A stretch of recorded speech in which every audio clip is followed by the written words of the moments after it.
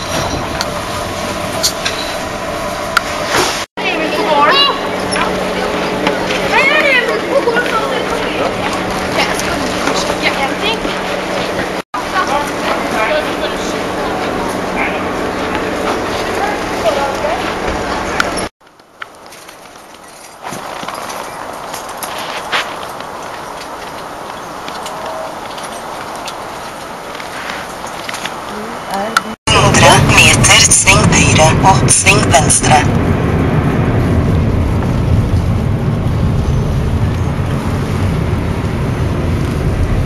Sving høyre og sving venstre.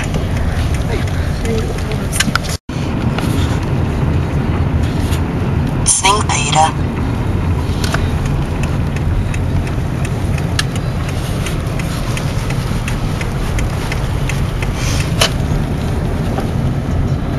Kjør 600 meter og kjør så inn i rundkjøringen.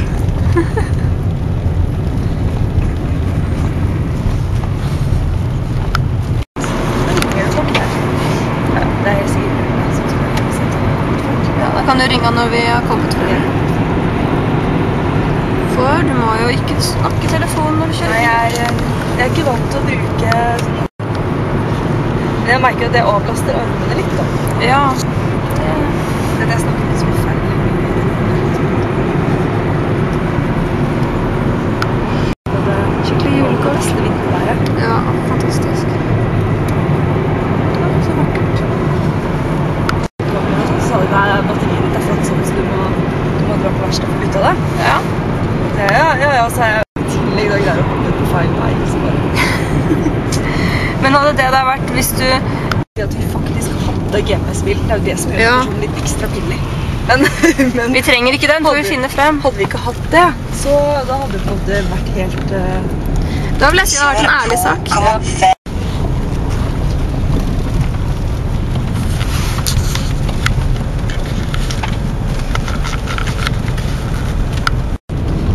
god i kirken, faktisk. Ja. Ikke dårlig.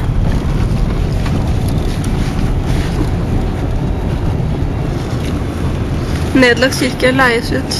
Ankommer målet på venstre side. Ja, det heter jo Haug gård der hun bor, så det er vel kanskje Ja. den, da.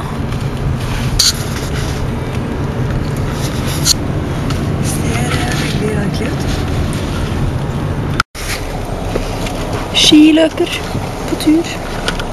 Ja, det er sånne skilt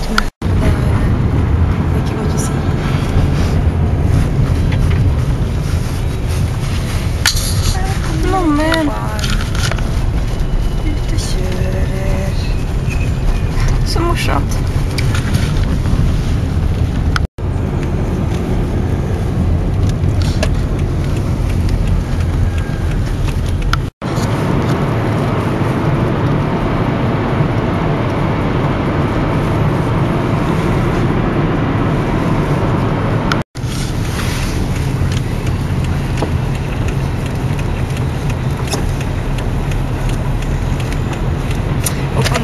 Og så er det, det er sånne lokaler som de bruker til, eh, til eh, litt, litt sånn teater, fortellinger, oppvarming. Og eh, det lyset og sånn som var der ute. Ja. Og de, de som bodde der før, de har sittet der ute og brukt det masse og sett TV og alt mulig sånn. Alt. Og er betalt. Men det er jo sånn, sånn strømmen har vært lagt opp da siden 70-tallet. Så de har jo ikke visst det. Og de har, måte, huset har bare vært delt i to, ikke sant? ja. Det var bygd Så, Ja. Så han har kanskje ikke en kapasitet på feltet. det er akkurat et uh, byggmester. Mjøsa.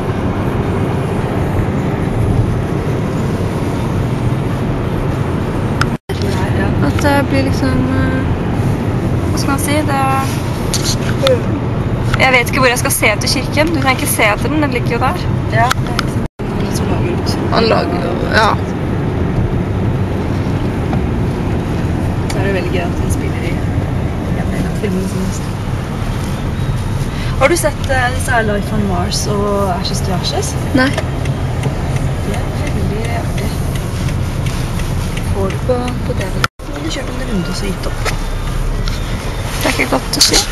Men det eneste som jeg savna i, i Life on Mars og Dette er ikke akkurat noe fra bildet. Men Nei, men hvis det er det jeg ser, så er det Crossing. Woohoo!